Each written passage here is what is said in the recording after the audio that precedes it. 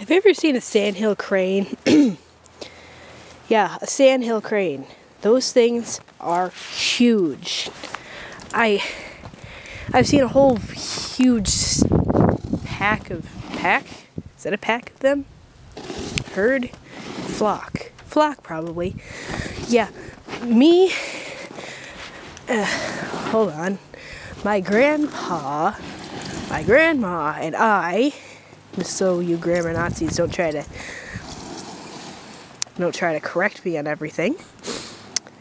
Went down to Kalamazoo for a week to go to this to go to this thing.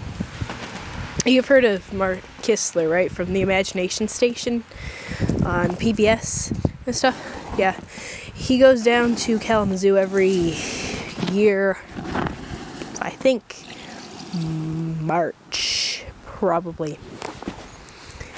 Anyway, this was the first year that we've ever been there, and we had to we had to leave early because uh, personal reasons. Won't specify what.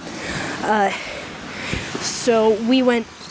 Me and my grandpa were really good at fishing. Well, we're not really good, but we caught a we caught a nice bluegill there. Anyway, we were fishing. And as we were walking down the, this trail for the first time, we've been there like four times afterwards.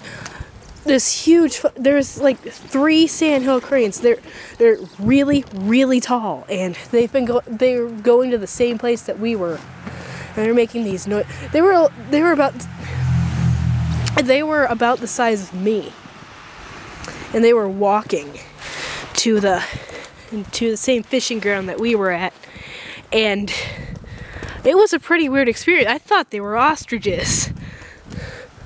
And apparently those things can fly, but I've never seen them fly. Hmm, but yeah, that's just a pretty amusing anecdote. That's it, bye.